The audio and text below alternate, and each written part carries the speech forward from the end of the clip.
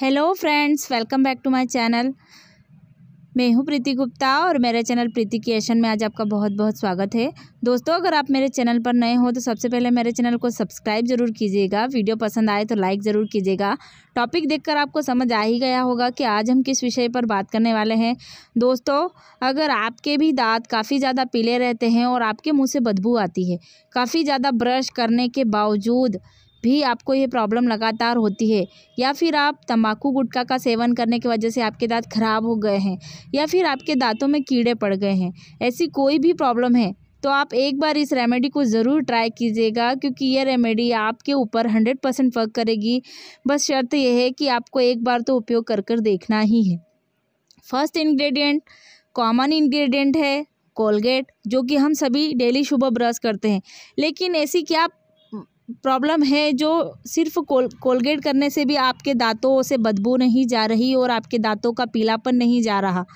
और आपके दांत चमक नहीं रहे, आपके दांतों में कीड़े पड़ गए हैं, आपके दांतों में धीरे धीरे होल हो रहा है।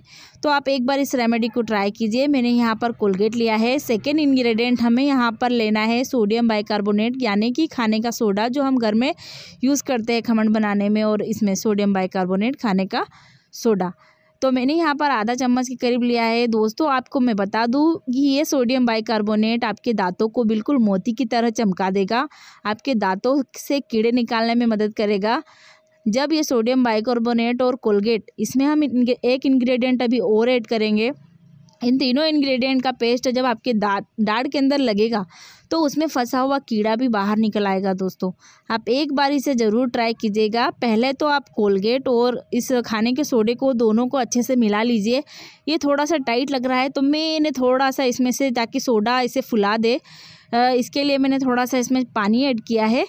आप चाहे तो ज़्यादा मात्रा में कोलगेट ऐड कर ले, लेकिन पानी ऐड करेंगे तो ये खाने का सोडा ज़्यादा अच्छे से वर्क करेगा, ये फुलाने का काम करेगा।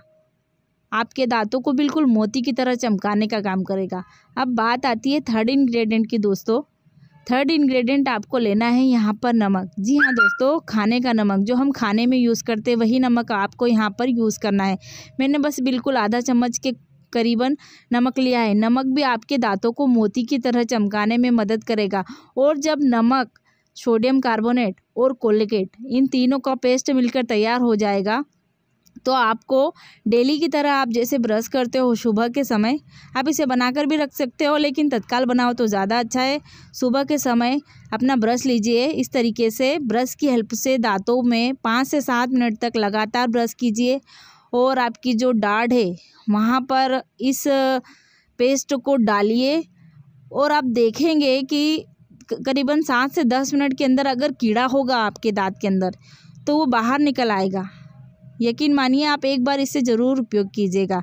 और मैं आपको बता दूँ कि ये जो मैंने लोशन या पेस्ट बनाया है, इस पेस्ट से आप अपने ज्वेलरी वगैरह अगर कुछ है, जो बहुत पुरानी है, काली पड़ गई है, उसे भी साफ़ कर सकते हैं, वो भी बिल्कुल चमक जाएगी।